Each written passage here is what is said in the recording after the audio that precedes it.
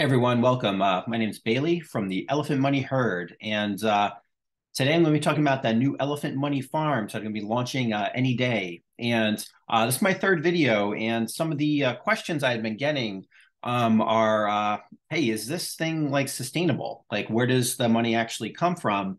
Um, this sounds like really good, you know, almost too good to be true. So, you know." Um, how does this thing all work? You know, so if you didn't know, guys, um, this is going to revolutionize the industry. All right. So um, Elephant Money is going to be releasing um, these farms coming up, and there are no fees to get into this farm. Uh, there are no taxes. Uh, everything is completely liquid. There's no lockup periods. Um, it's lossless, which means it's um, immune to impermanent loss um, when you stake your volatile assets in there. Uh, it is trustless, uh, which means that no one um, will have access to those funds except you and your private keys. So it's very safe and secure.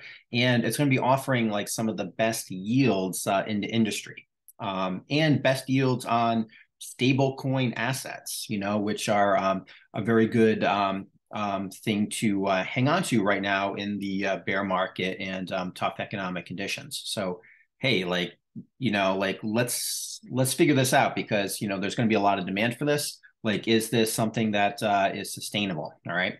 So uh, what i wanted to do guys is just kind of walk you through basically um, what kind of makes the elephant money system tick. All right. Um, we like to call it the uh, the mona lisa of um, tokenomics. All right. So if you're not familiar with this system um, you know it's really going to blow you away. All right. Because it's absolutely revolutionary. And um, you know once widespread you know adoption takes place you're going to see just um, you know the fabulous fabulous uh, possibilities of this system. You know, it's it's so good. So, but here's kind of how it's going to work, and I'll just give you guys like kind of a brief overview of it. Um, everything that you're going to see in this presentation, I go uh, into like a lot of detail with, and some of my other videos on my YouTube channel. You know, so if you're really interested in kind of uh, diving in a little more deeply on some of this stuff, um, all of this is is covered um, on my other my other uh, videos. All right, so guys, we're gonna have the elephant token. All right, and the elephant token um, that is going to be kind of like the asset of the community bank. All right. And that's to be responsible for paying out all debts and all yields that you're to be getting um, on this juicy trunk token. All right. The trunk token's um, primed to be right now. Um, once these farms release, the hottest token in all of DeFi. All right. Um, there's to be massive demand for it because, hey, you need this token uh, in order to uh, participate in the um, new farms. All right. And you're going to be paid out as well in this trunk token. All right. So there's going to be a lot of demand for it.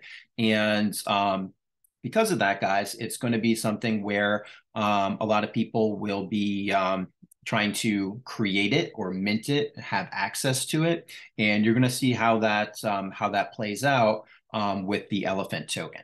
All right, so here's like kind of the design, and this is what really um, is revolutionary uh, and extraordinary about the elephant money system. All right, it's uh, Bertha. All right, so it's the elephant treasury. Okay, now what the elephant treasury is, it's actually a smart contract and it acts as a large player in the economic space. All right. So basically, um, it's a large token holder of elephants, and it kind of acts like the friendly whale of the system. All right. So we like to call it an elephant money like the whale that will never dump on you. Okay. So what it's doing is it is collecting um, all of the elephant tokens um, and all of these tokens are pretty much going to be locked up by the protocol. All right. And, you know, if you dive deeper into the tokenomics of it, um, you're going to see that there is an elephant graveyard, which holds a vast majority of the elephant tokens. And then we have two very deep liquidity pools on PancakeSwap um, with our elephant token, one paired with BUSD, one paired with BNB. And then right here, guys, number three right now for the um, for the token holder uh, count for elephant token is Bertha, all right, the elephant treasury. And right now she's sitting at about uh, 97 and a half trillion tokens. And she's creeping up on close to 10% of the supply. And what's going to happen is um, as people mint uh, trunk, which means create trunk, Um, so they put in BUSD and they receive um, trunk token. Um, those proceeds go to strengthening the elephant treasury. Um, same with if you wanted to bond trunk in a Stampede account, which is kind of like our certificate uh, deposit account, has the most aggressive um, APRs uh, in the system. Um, you put BUSD into something called Peanuts, all right, in the Stampede section, and that goes to strengthening the elephant treasury.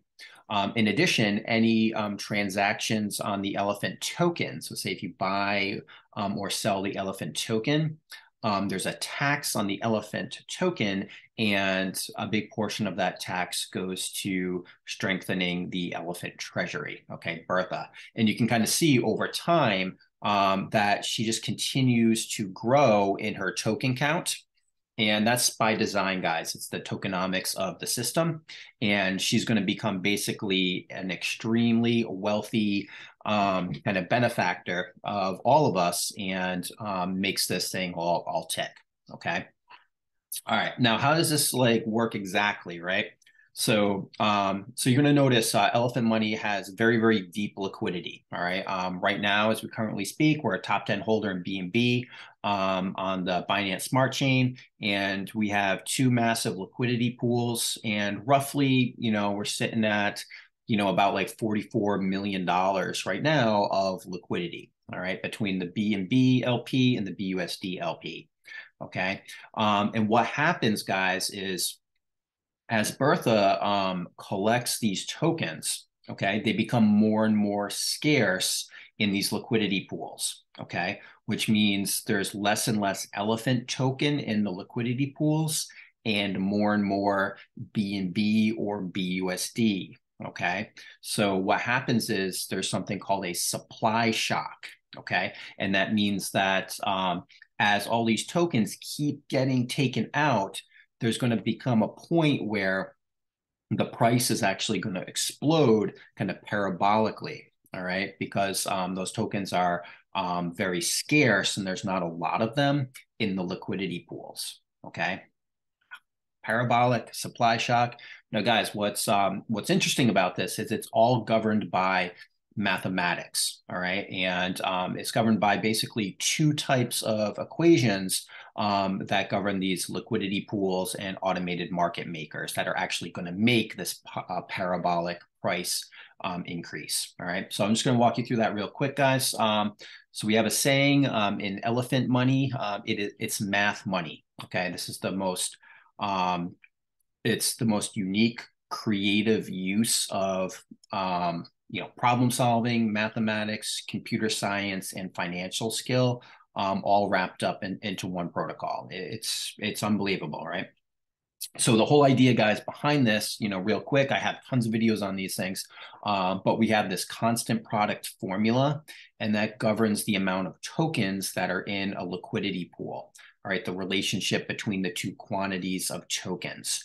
And what's going to happen on this curve is as the number of elephant tokens decreases or goes down, um, the number of BNB tokens uh, in that pool increases and increases. And um, the number of BNB tokens or um, also works the same way for our other liquidity pool, uh, the BUSD. Um, it increases um, in value and it increases very rapidly. And what happens is um, eventually you get to the point where there's um, there's um, more and more value going in for kind of like the same amount of um, elephant token that's leaving. Okay. So um, the price starts to shoot up very, very rapidly. And how this uh, equation here interacts with this equation here, which is our kind of our price equation of what the value of these elephant tokens are is going to look like. Okay. And basically, um, what happens is in a liquidity pool, the values of the two tokens it's always it always remains equal. Okay, so if I kind of go back to this slide here, you'll see that um, you know we have say like close to you know 27 million in here.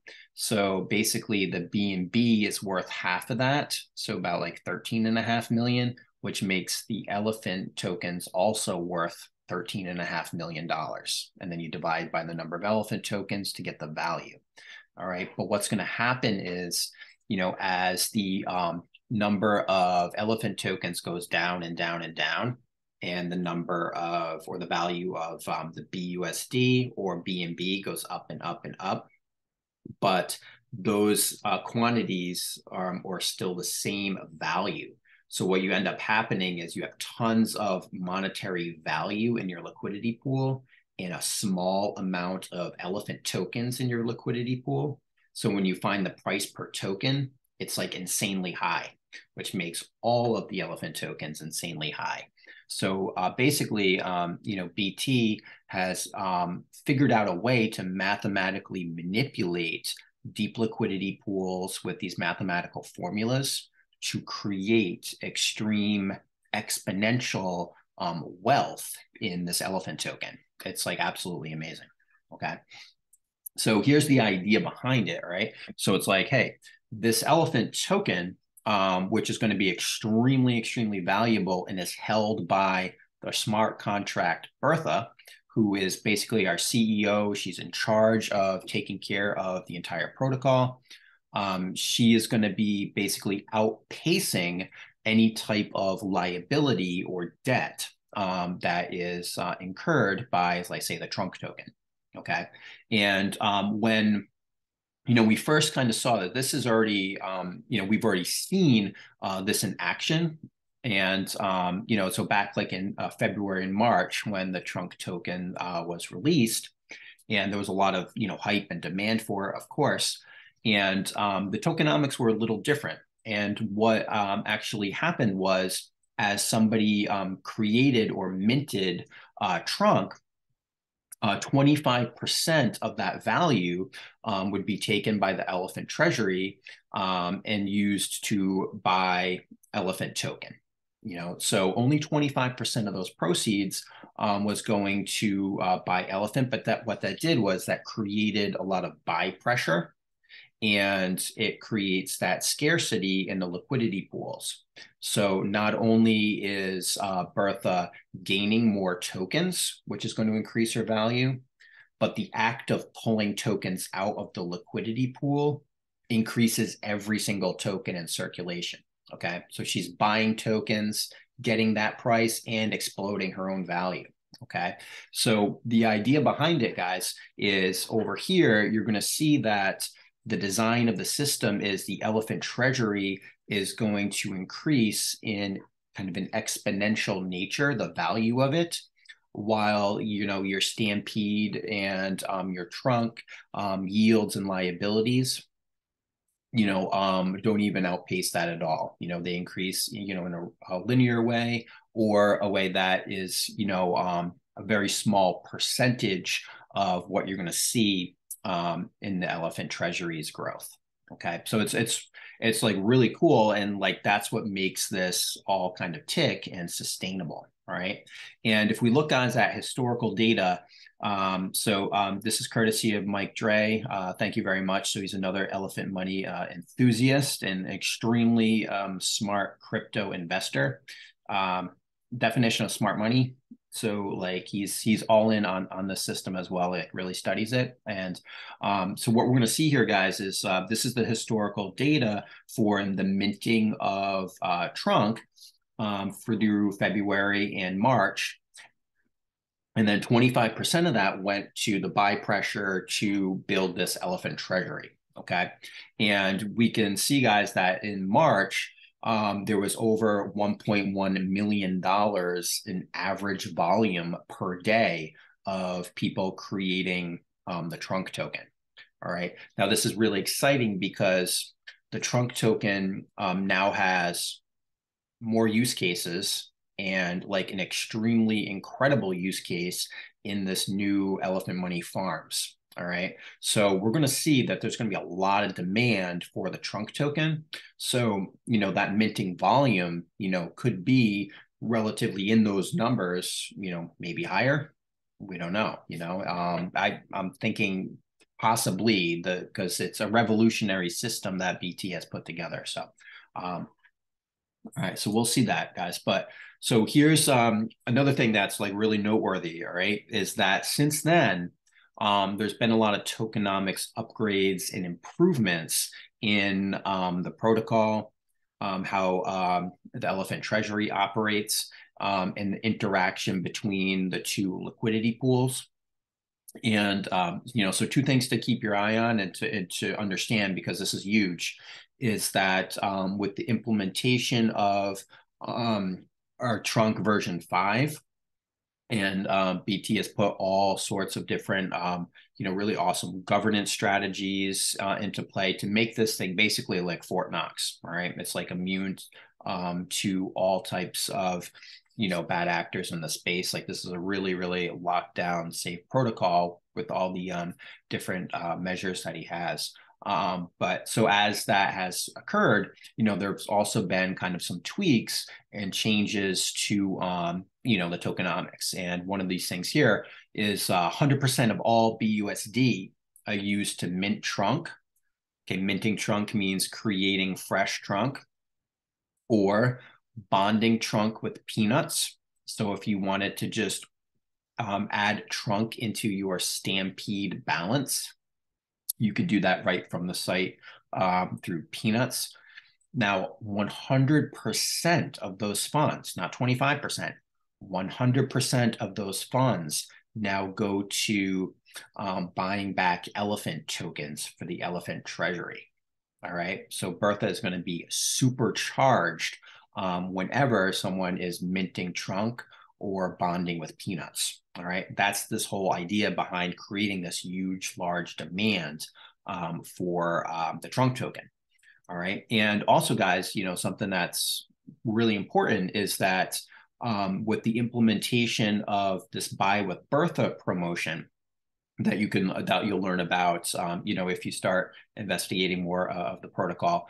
Um, the Elephant Treasury will actually uh, select which LP to purchase the elephant token from. Um, and they're going to purchase um, the cheapest elephant tokens to kind of maximize the quantity that Bertha is going to get.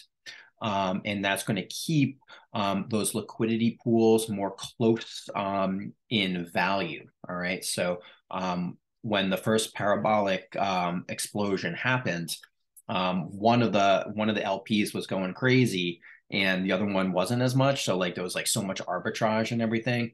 Um, this system here, you're going to see that like Bertha is going to just to scoop up all the tokens um, and um, they're going to do it in a very efficient manner.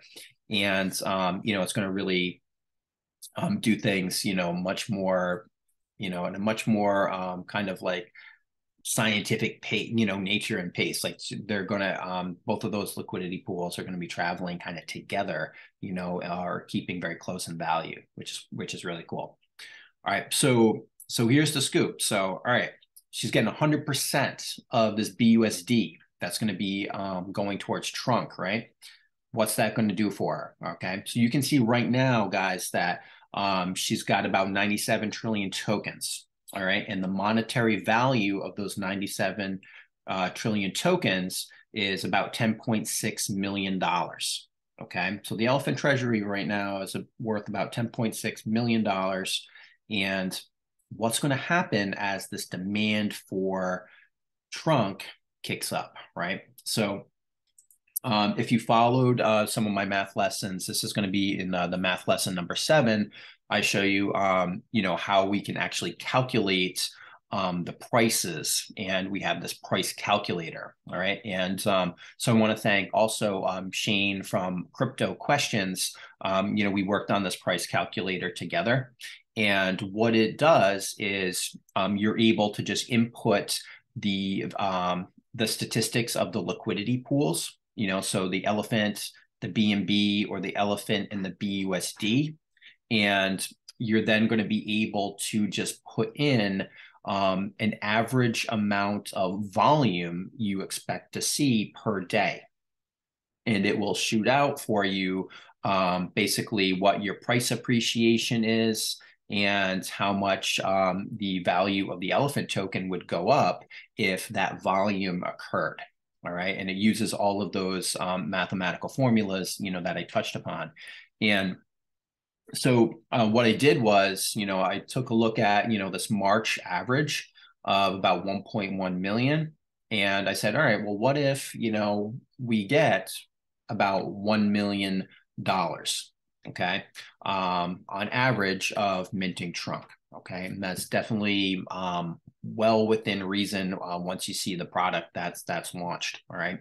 And um, so like what would happen? All right. So um, one thing, guys, that you would want to know is that that $1 million um, when it comes in, um, Bertha, the elephant treasury, is not going to be spending it in just one liquidity pool.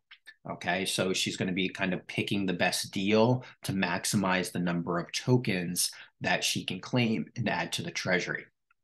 All right, so what that would look like, guys, is that 1 million uh, would actually be divided up. And so I divided it up so it would keep the price in both uh, liquidity pools um, relatively equal. All right, because that would be kind of like the programming that um, she has with the buy with Bertha right now. All right. So right now, um, say if $1 million per day of trunk is minted, all right. So we'll have um, about 594,000 from this pool and about 406,000 from this pool. And you're going to see that the price per million elephant um, is around 59 cents per million.